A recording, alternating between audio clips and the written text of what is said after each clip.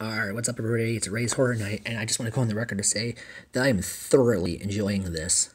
Brie Larson getting backlash over new multi multiverse video. Excuse me.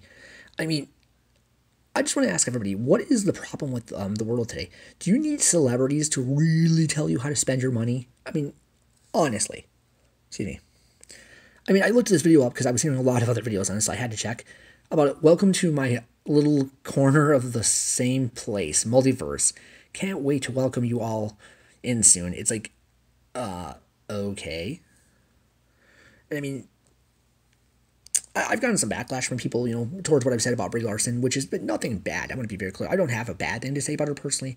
I just don't like the white privilege look on her face. I mean, that does look like her. I mean, I don't like the white privilege of her, you know, telling people what to do with their lives, saying white men are bad, this, this is going this way. And it's like, you are the problem, not the solution. Celebrities do not pay our bills. We pay their bills. Did you know when you um, spend 30 freaking bucks on a Blu ray, you're helping to pay their bills? They're not doing anything for us.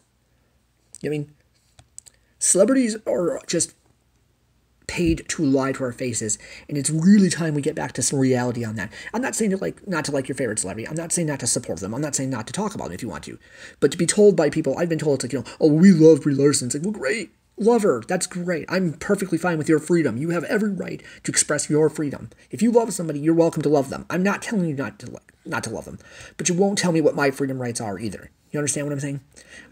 I'm not wishing harm upon her. I don't dislike her, but I don't like being told how to spend my money. I don't like being told that white men are the root of all evil. If we're the root of all evil, then I don't know what you're all doing in this country here then, because let's think about it for a minute. You have no business here then. We're the root of all evil, so you should want to go and start your own. You shouldn't want to steal everything here and then go, oh, well, see, we're doing it better now. You're not doing anything better. You're an annoying actress. You need to go to work at McDonald's. And that's all I got to say, really. I don't hate, I just don't understand the point of this. Make your money and shut up. We pay the celebrities' bills. That's why they have those big houses. Huh. They don't pay our bills, and now they want us to get hybrid cars. It's like, yeah, that's not gonna happen. So yeah, feel free to leave your thoughts at the bottom here. This is a short little video, just wanted to talk, and I expressed my thoughts again. I did not say that I hate her. I'm not telling you to not like her because. I'm just giving my opinion on how I feel. She has no right to talk to people the way she does. You don't tell people how to spend their money. You don't tell them what to do. And you don't freaking talk white privilege while you're telling people that they're being white privilege. That's all I'm saying.